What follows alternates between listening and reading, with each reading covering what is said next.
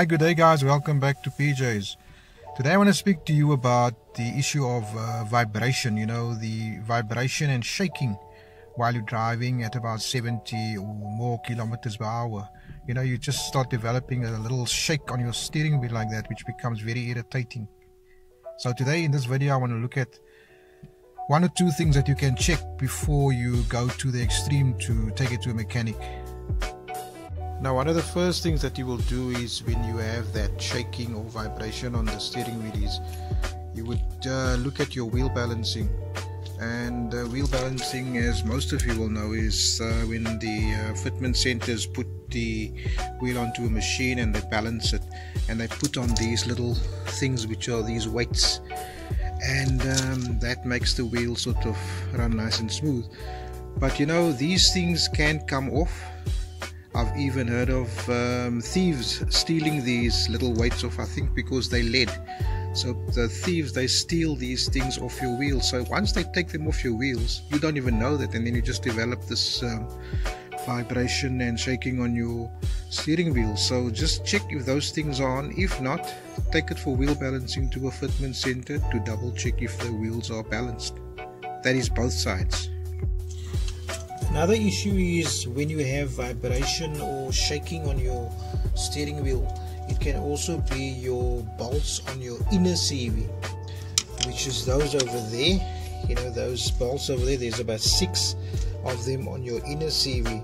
They start working themselves loose over time, and um, then they can cause a bit of vibration and um, shaking on your steering wheel. And that is why I always say when you have a vibration on your car, please have it checked out because look this can slowly be working out here and it can be starting to fall out and you don't even know it. And then all of a sudden you just hear this thing comes loose and it knocks your gearbox broken. And I always say get underneath your car look down into these things and see if things are loose. You don't need a lot of um, mechanical skills to do that. Just have a look feel it stick your allen key uh, um, tool in there and feel how tight it is. And you know grab it at the shaft and move it around and feel if it's um, loosened okay and staying on the CV joints another area where you need to check is when you experiencing vibration and shaking is if the hub nut has been tightened enough.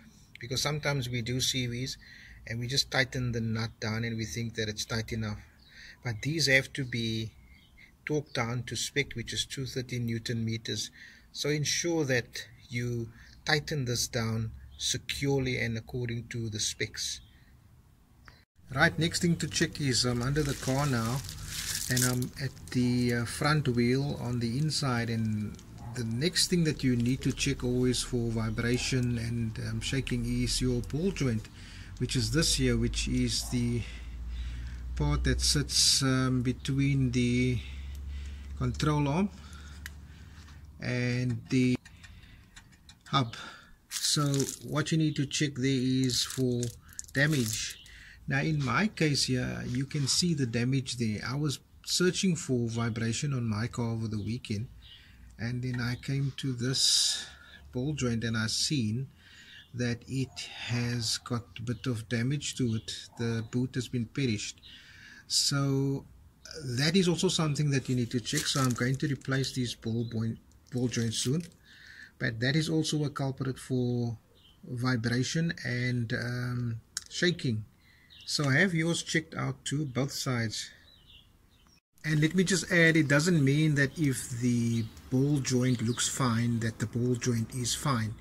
There is a way that you can test it and um, normally you can just take it to a fitment center and they got a way to test it. You know, they jack up the car and they will go through a process and actually see if the ball joint is um, faulty or if it's got play in it. So do that, you know, it's some uh, fitment places uh, don't charge you for it. Some charge a small fee but I mean it's worthwhile having your whole suspension checked for a small fee.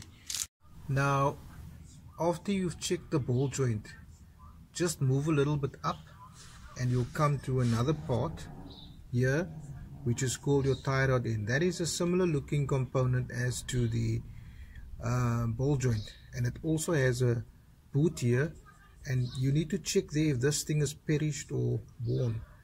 They sort of wear out the same way as a ball joint would.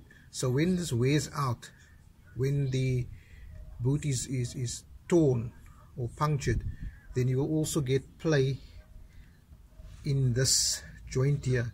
And that can also cause um, vibration because that's attached to your steering rack as you can see there that's your rack in there and this is your your tie rod end so check on those things.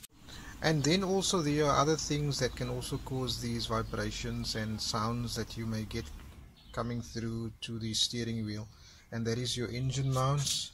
In the engine you will find your engine mounts over here. One here just below the battery.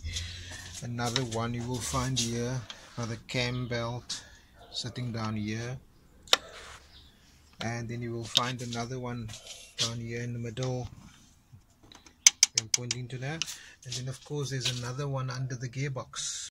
Okay there you got a nice view of the engine mount that attaches to the gearbox underneath the car. It's a squish type of um, rubber setup. But as I say those things can be checked at the fitment center you know because they have the proper tools and things okay so there you go guys. There's a few tips for you just to go and see if you can solve your vibration and shaking on your steering wheel.